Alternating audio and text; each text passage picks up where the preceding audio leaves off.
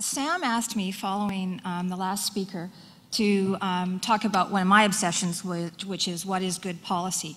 And I come at this, I'm very, very, very big member of the pro-density team, but I don't come at this from the perspective of density for density. My focus, my obsession for the last 30 years has been how do we reduce our energy consumption, how do we reduce our environmental footprint, at the same time we contain or control or reduce the rate of increase in our city occupancy costs. So I'm not saying we've got to spend more to have to be greener. The question is how do we get greener and, main, and maintain a city that's livable, that can house affordably low income and fixed income families because that's what a sustainable city is. Shortly before meeting Sam, I was lucky to be part of a consulting team that was hired by the Canadian Ministers of uh, Environment to evaluate 40 different carbon pricing and emissions pricing schemes, direct and indirect, carbon taxes, emission taxes, and cap and trade, largely in the United States, and come back and say, is there a good policy here we should be looking at as Canadians? And I have to admit to you, completely wrongly, just before I met Sam, I formed the position that carbon pricing and cap and trade type regulations were the most appropriate, potentially most efficient regulatory policy mechanisms we could introduce to get where we want to go. Um, having said that, I formed that opinion. At the same time, I was looking at the data and saying, okay, right now, 1990 to 94, um, what is the key determinant of, what, of our energy consumption and our environmental footprint? And at the time, a graph of the cities looked kind of like this. At the time, European nations, US states were just starting to introduce renewable energy strategies, emission pricing strategies. So I said to Sam, those strategies are really going to make a difference. They're really going to work. But for now, density is the key determinant. Well, Europeans started introducing these carbon pricing strategies in the 1990s, and I thought I'd give it a chance to see how it changes the numbers. Went back, did the graph in about 1998. Looked like this. More carbon pricing strategies in play in the early part of this decade, cap and trade being introduced in many places between 2003 2005 go back do the graph today this is today's graph looks like this if you actually look at the data, you don't see any, any relationship between energy and carbon pricing and per capita energy demand uh, and emissions. None whatsoever.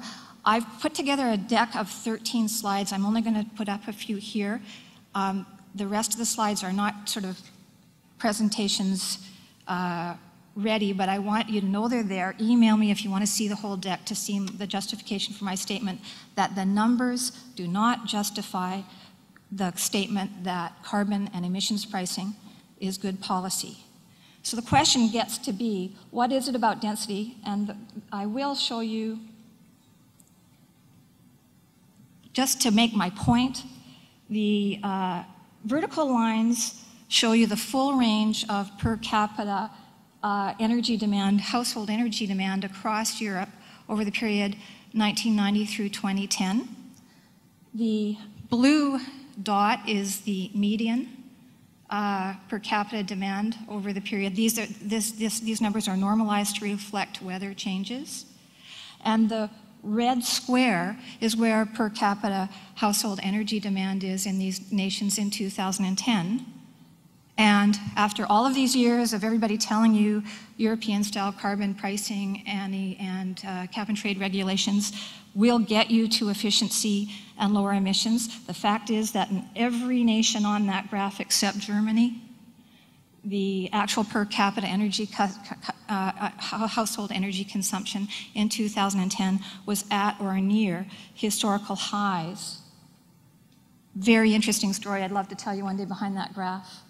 When you look back at nationwide, it's not just transportation. If you look at home electricity and heat consumption and take all of the data for 30 years and create a trend, a predicted trend graph for that data, and normalize by density, you see over and over and over again on that graph the nations that are below the red line are less efficient than the norm.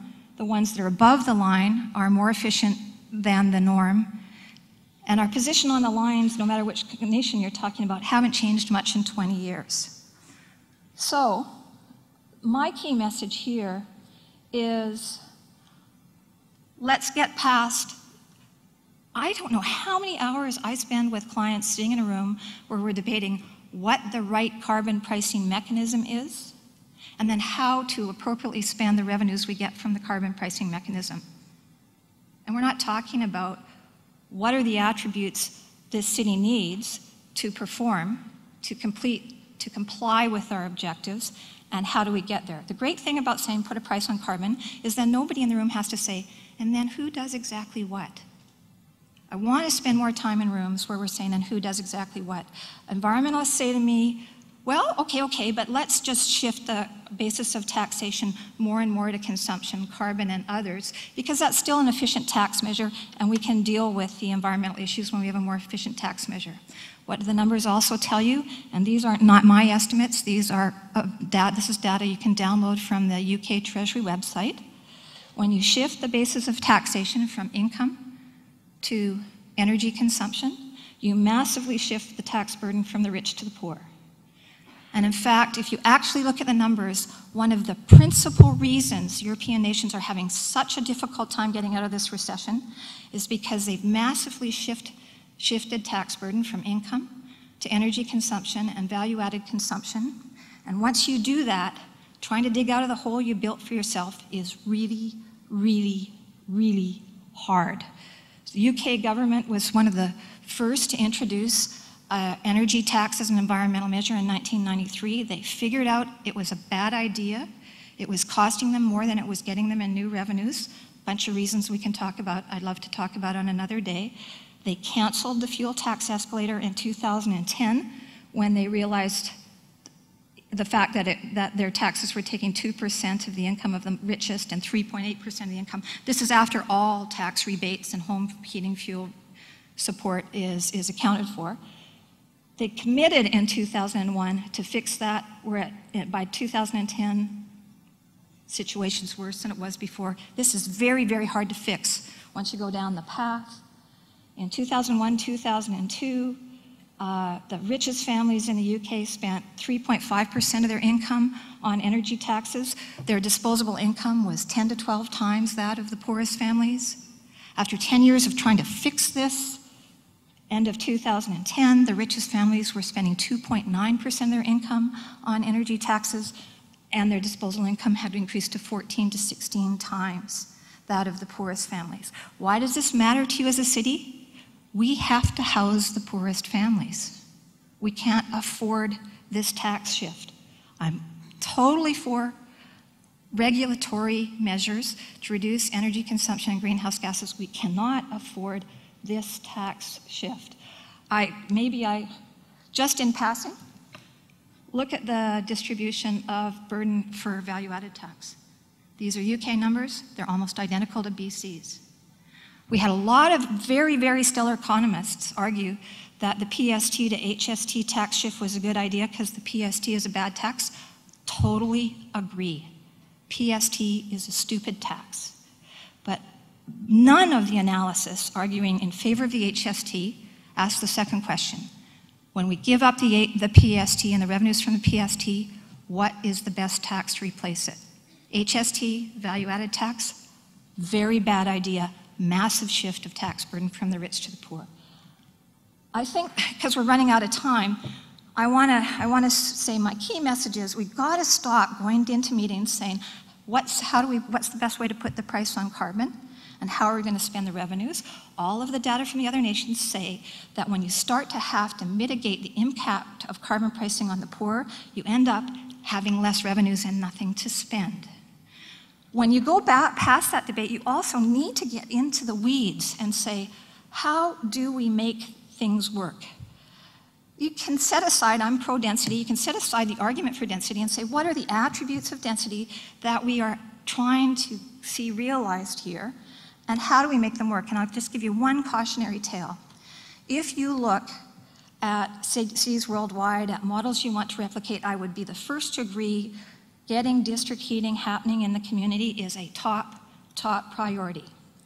But the other thing that you need to pay attention to is if you look at two cities with virtually identical populations, virtually identical po politics, virtually identical opportunities to launch district heating, identical demand, identical heat supplies.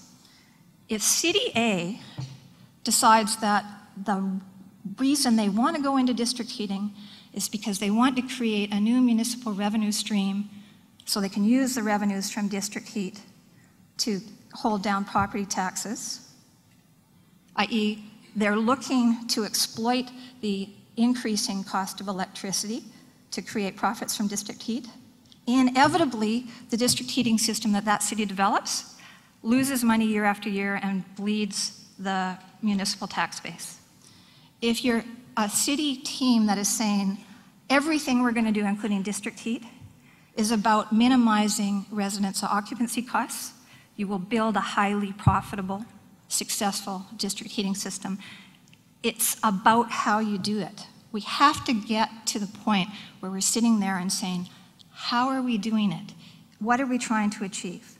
And what you're trying to achieve is lower energy consumption at lower occupancy costs. And when you focus on that, the world of opportunities is enormous. And when you don't focus on that, you'll do two or three projects and lose all of the support of your rate base to do any more. So I think I'll stop there.